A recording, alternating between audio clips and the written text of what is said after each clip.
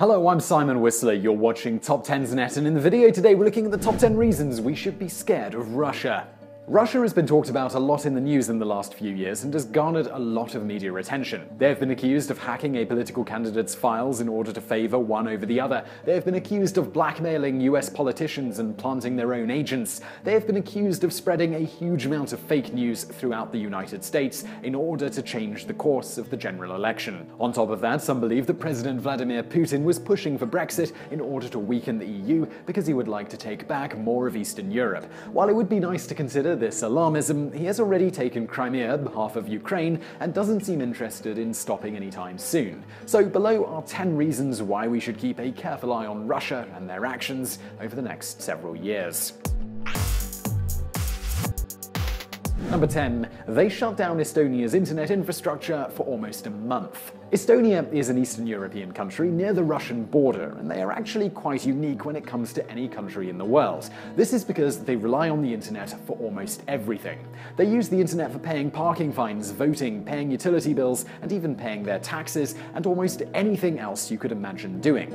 Children in Estonia are taught to use the internet properly in school, and they start at a young age, and Estonia is considered one of the most tech savvy countries in the entire world. That's why in 2007, Estonians understandably freaked out when their internet infrastructure was hit by a cyber attack that managed to keep the entire system down for three whole weeks. Estonians are understandably worried that it was a test for a possible Russian invasion down the road. Estonia was once a part of the Soviet Union and is seeded with ethnic Russians, so Putin could attempt to pull something similar to what he did in Crimea, and with their infrastructure down, it would be hard for them to resist the chaos that Putin could create. With the recent aggressive moves by Russia in both terms of cybercrime and their continuing ventures in Ukraine, Estonia fears they may be next, and they are preparing for war. Number 9. The Russian mock invasion that would take key islands from Denmark, Finland, Norway, and Sweden. Some might think that Russia would never dare go that far into Eastern Europe or really keep pushing at all that much beyond Ukraine.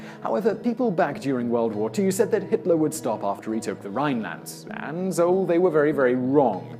The truth is that Putin has no reason to stop unless someone makes him he has already taken Crimea and roughly half of Ukraine. While some may be skeptical, back in March of 2015, Russia conducted a mock set of invasions that were set on the rather insane and clearly made up idea that the West was trying to physically overthrow Putin and pull off some kind of coup. In response to this fake threat, the test invasion conducted would have them take away key islands from Sweden, Norway, Denmark, and Finland, making it almost impossible for the NATO allies to come to the rescue. While the Russians tried to give some flimsy pretext that it was in response to a Western based attack, that didn't really hold water, because the real strategic value of those islands is that it would cut off the Baltic states from NATO. This means that Russia would be able to easily take Estonia, Lithuania, and Latvia and force them back into the Soviet Union, and it would be almost impossible for NATO to provide any kind of proper support or help. The fact that Russia put so much time and effort into practicing such an attack is troubling troubling, to say the least. Number 8. With the EU increasingly weakening, Russia is in a stronger position to invade Eastern Europe. When the Brexit vote occurred, Putin tried to remain indifferent on the surface, but many experts believed he was very excited. The main thing that stops Putin from taking back the former Soviet states is a strong European Union and a strong NATO, which kind of coincide in a lot of ways right now.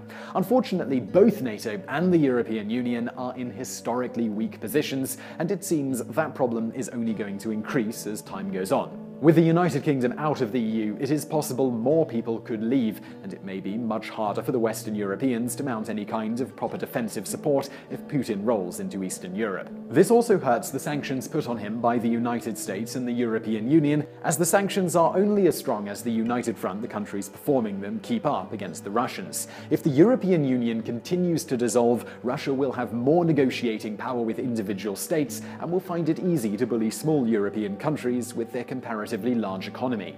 In the end, both in terms of potential invasions and in terms of negotiating power, the Russians win big whenever Europe becomes weaker. To make matters worse for Eastern Europeans, there's a new US president who knows little about NATO and has campaigned in part on it being obsolete, though it seems he's finally coming around on its importance. He's also been shown to care little about agreements that are in place to keep small countries safe. Number 7. Russia Today is Kremlin controlled, and Russian fake news propaganda is a global machine. Putin tries to dance around the issue, so it isn't quite as obvious to everyone, but the truth is that Russia Today might as well be President Putin's personal blog. It is funded, owned, and operated by the Kremlin, in other words, the Russian government. The government claims that it is not totally government controlled, but Putin also admits that it should be kind of expected that they will say things that are positive about the government and its agenda. While not saying it outright, it is clear that the purpose of Russia Today is simply to spread the Kremlin's propaganda all over the world. It is perhaps one of the most unreliable news sources on the planet, but many people who see Russia Today in other countries do not realize just how unreliable it is.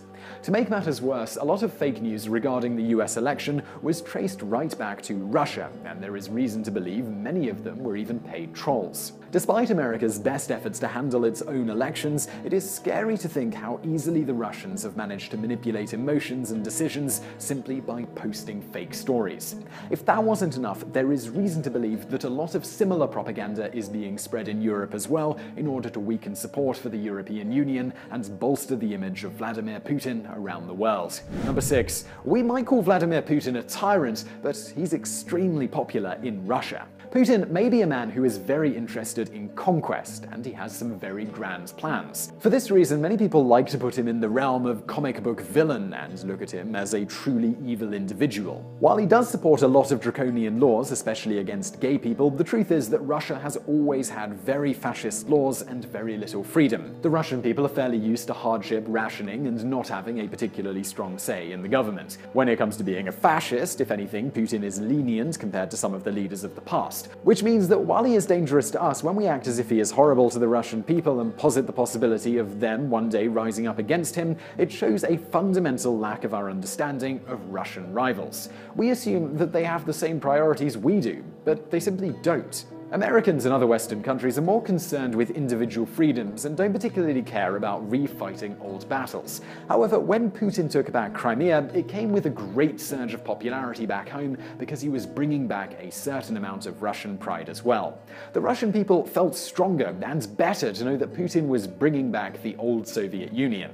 Many of them now see him not as another politician, but as a transformational figure that has helped bring Russia back to what it once was. Russians do complain about politics in the country, but Putin still has approval in the low 80s, and even watchdogs from other countries believe that most polls are at least mostly accurate. We aren't saying that Putin is a nice guy, but it is important to understand the people you are up against. We may not like Putin, but the fact that he's popular at home isn't just Russian propaganda. Number 5. Putin has consolidated power and may very well be president for life. One of the things that makes it harder for Europe or the United States to deal with threats from a dictator is that the dictator has the advantage of remaining in power forever, consolidating his holdings, making him capable of carrying out truly long term plans. On the other hand, countries like the USA have regular elections that change the governmental leaders, which means we have to constantly be refreshing our policies to deal with the latest threats. Every president will have a different idea of how to deal with our foreign enemies or rivals, and that means an entirely new roadmap. In the meantime, someone like Putin can remain in office for nearly two decades, ensuring he can slowly work on his goals. Putin was first term limited, then made a new position for himself that was above the president to get that problem out of the way. Then he managed to become president again after taking care of the pesky term limit issue.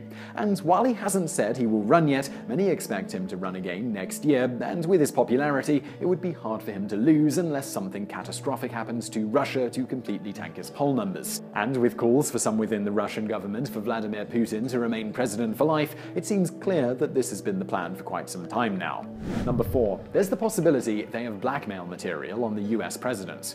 While we know that Donald Trump has business dealings in Russia, which have been the subject of much suspicion and rumor, and that many in his campaign were said to have contacted Russia during the campaign, this has led to some to believe that there is far more to the story. According to a dossier, which has information, much of which is hard to verify, Trump visited Russia as part of a beauty pageant, and while staying in a hotel room, he got up to some antics that were quite risque and embarrassing. He allegedly had prostitutes pee on a hotel bed that had once been used by Barack and Michelle Obama. And according to the dossier, the Russians had been monitoring this room and now have incredible dirt on Trump. Due to his many business dealings with them and this blackmail material they had, they decided to push him towards politics and did their best to help him succeed because they believed that they could use their blackmail material to get sanctions lifted or other pro Russia policies put in place. Of course, there is no proof that this blackmail material exists or that the event even occurred as alleged, but the thought that they have blackmail on the president is very troubling.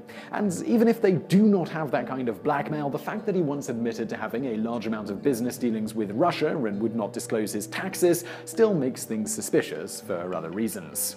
Number 3. The gay concentration camps currently operating in Chechnya, part of Russia.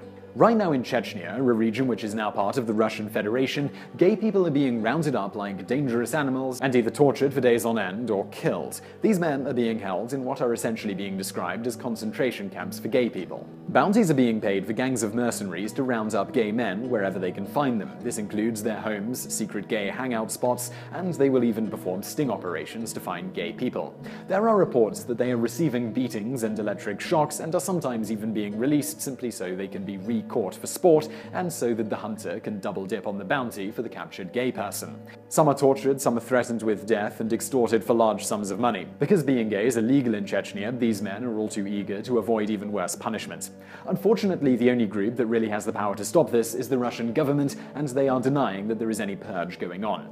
Considering their knowledge of what happens in their territories, it boggles the mind that they do not know. And when you look at their reputation when it comes to gay people, the sad truth is that the Kremlin likely understands what is happening and approves of it. Gay people are not welcome in Russia. Number two, Russia currently has the largest active nuclear stockpile in the world. When most people think of the most powerful nuclear country, they tend to immediately think of the United States. But the truth is that Russia actually has a slightly larger stockpile of nuclear weapons than the US does. This includes both stockpiled warheads and those that are fully operational and ready to go. The United States has close to 7,000 nuclear warheads, but Russia has over 7,000, beating the US by a small margin. They also have about 40 more active nuclear warheads than America does, with both countries having close to 2,000 that they are ready to launch. Some may think that China is close, but they don't actually have any operational warheads at the moment. The next closest countries are actually France with a few hundred and the United Kingdom with a little over 100 in terms of operational nuclear weapons. For this reason alone, Russia has to be respected. With one of the largest economies, area of sheer territory, and that many nuclear weapons, they are a very strong force to be reckoned with. A ground invasion of Russia has already proven to be all but impossible, and a serious air battle would lead to them threatening nukes against the United States. In the meantime, it's hard to prevent Russia from taking back countries in Eastern Europe without starting some kind of full blown war or threatening the use of nuclear weapons, an empty threat, because we know Russia could respond in kind. Due to being such a strong nuclear power, apart from fighting proxy wars over the grounds Russia is trying to occupy, there isn't a lot that we can do to slow them down. Number 1. Military service is compulsory for young men, so nearly all Russian males have military experience. The Russians are also dangerous because nearly every male of any decent health has at least a few years of military service under his belt. The Russians have made it compulsory for young men between the ages of 18 and 27 to serve in the military. This means that every capable citizen will be ready if necessary, and also it keeps the military strong, full, and well disciplined at all times. Now, draft dodging is fairly common for this reason, as not everyone wants to join the military, but it can actually be quite hard to do. Without a legitimate medical reason, you often need to pay thousands of dollars for fake documents to forge your way out of it. And you might still be caught and forced into service anyways, especially if you try tricks like staying at a different address than the one you put down officially. And despite the draft dodgers, this means that Russia still has a very, very large portion of its healthy young men learning the ways of the military lifestyle and how to fight and die for their country if needed With a percentage of men with military training much higher than that of other countries, they have a very large pool of capable people to pull from if they end up in any extended wars or conflicts that spread throughout the world. Some countries like Sweden have recently added compulsory military service in order to prepare for the potential threat that they see coming down the road. The world has to be very watchful of Russia and those who live in Eastern Europe. They have the most to fear. So I really hope you found that video interesting. If you did, please do hit that thumbs up button below. And don't forget to subscribe if you haven't already for brand new videos just like this every day of the week. Also, over there on the right, a couple of other videos that you might enjoy if you enjoyed this one. And thank you for watching.